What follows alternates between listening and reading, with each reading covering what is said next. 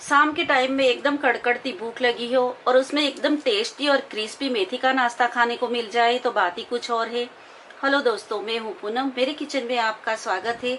आज हम बनाएँगे मेथी का एकदम टेस्टी और क्रिस्पी वड़ा। तो रेसिपी की शुरुआत करने से पहले आपसे एक रिक्वेस्ट है कि वीडियो आपको पसंद आए तो इसे लाइक, शेयर और सब्सक्राइब करना ना भूले। तो बनाना शुरू करते हैं मेथी का वड़ा। बाउल में एक चौथाई कप गर्म पानी डालेंगे। दो टेबलस्पून तेल डालेंगे। एक चौथाई टीस्पून बेकिंग सोडा आधी टीस्पून नींबू का फूल साइट्रिक एसिड आपके पास अगर ये नहीं है तो आप एक टेबलस्पून नींबू का रस डाल सकते हैं। एक टीस्पून साबुत धनिया है, इसे हम हाथ से क्रश करके डाल देंगे। हमने नींबू का फूल डाला और सोडा डाला, इसके लिए इसमें ये बबल्स हो रहे हैं। एक टीस्पून रफली कुटा हुआ काली मिर्च पाउडर। एक टीस्पून सौंफ। एक टेबलस्पून तिल, एक टेबलस्पून चीनी। इसे मिक्स करके साइड में रखेंगे। मेथी के पत्तों को तीन बार अच्छे से पानी से धो के स्ट्रेनर में डाल दिया था, ताकि इसका पानी सारा निकल जाए। इसके बाद मैंने इसे बारीक काट के लिया है। ये बारीक कटी हुई मेथी के पत्ते दो कप है। इसमें आधा कप बारीक कटा हुआ हरा धनिया डालेंगे। एक पिंच बेकिंग सोडा डालेंगे। एक टेबलस्पून तेल डाल के इसे अच्छे से मिक्स कर लेते हैं। तेल से इसे अच्छे से कोट कर देना है। आधा कप गेहूँ का थोड़ा मोटा आटा लिया है। जो बारीक रोटी का आटा आता है, वो नहीं लेना है। आप देख सकते हैं, इसे मैंने थोड़ा मोटा पीसा है। आपके पास अगर ये गेहूँ का मोटा पीसा हुआ आटा नहीं है तो आप इसके बदले में सूजी ले सकते हैं। एक कप बेसन डालेंगे। आधी टेबलस्पून हरी मिर्ची की पेस्ट आधी टेबलस्पून अदरक की पेस्ट दो टेबलस्पून मूंगफली को मैंने मिक्सर जार में रफली क्रश किया है। ये रफली क्रश किया हुआ मूंगफली का पाउडर डालेंगे। आप देख सकते हैं, मैंने इसे एकदम मोटा पीसा है। एक टीस्पून नमक डालेंगे, या नमक आप अपने टेस्ट के हिसाब से डाल सकते हैं। अच्छे से मिक्स कर देते हैं। एक टेबलस्पून तेल डालेंगे। तेल डाल के अच्छे से मिक्स करना है। एक चौथाई टीस्पून हींग, आधी टीस्पून अजवाइन, इसे हाथ से थोड़ी क्रॉस करके डालेंगे। अच्छे से मिक्स कर देते हैं। गर्म पानी में पहले हमने जो मसाला मिक्स किया था, ये पानी अंदर डाल देंगे। अच्छे से मिक्स करेंगे। मसाला वाला पानी था, उसमें मैंने एक चौथाई कप पानी डाल के लिया है। ये डाल देंगे। अच्छे से मिक्स करेंगे। अभी हम इसमें एकदम थोड़ा थोड़ा पानी डालेंगे।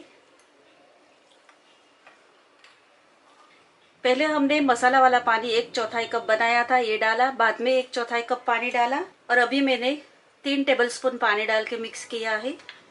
बेटर में एक चौथाई टीस्पून हल्दी पाउडर, आधी टीस्पून लाल मिर्च पाउडर मिक्स करेंगे। अच्छे से मिक्स कर देना है। इस तरह से आप सारी तैयारी पहले से करके रख सकते हैं और जिस टाइम पे इसे सर्व करना है, उसी टाइम पे भाजी को बेटर में अच्छे से मिक्स करना है और इसके बाद इसे फ्राई करके गर्मा गर्म आप सर्व कर सकते हैं।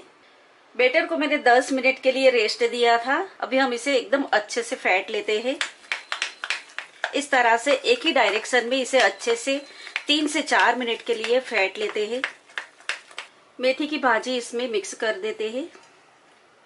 इसे हाथ से ही अच्छे से मिक्स कर देते हैं। भाजी को अच्छे से मिक्स करके हाथ से इस तरह से दो मिनट के लिए फेंट लेंगे।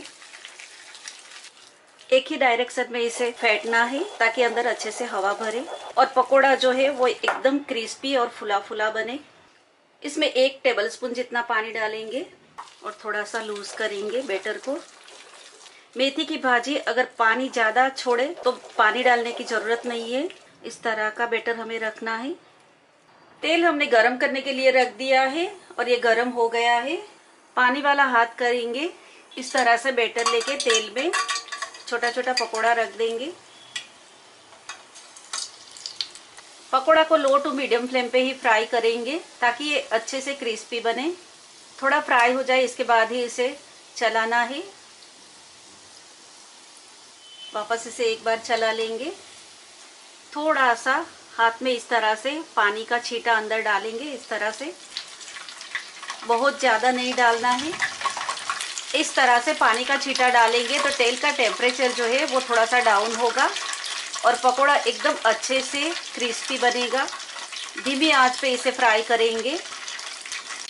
तेल में अगर पानी के छींटे आप डाल रहे हो तो बहुत ही संभल के डालना है। बहुत ज़्यादा नहीं डाल देना है पानी का छींटा। सिर्फ़ थोड़ा सा हाथ गीला करके इसमें इस तरह से डालना है। अभी मीडियम फ्लेम करके इसे एकदम क्रिस्पी हो जाए और लाइट ब्राउन हो जाए, तब तक इसे फ्राई कर लेते हैं। ये लाइट गोल्डन ब्राउन हो गया है तो इसे निकाल लेते हैं। इस तरह से मेथी का वड़ा बनाएँगे तो बहुत ही टेस्टी और एकदम क्रिस्पी बनता है। आप देख सकते हैं, ऊपर से ये एकदम क्रिस्पी है। आपको मैं एक तोड़ के दिखाती हूँ।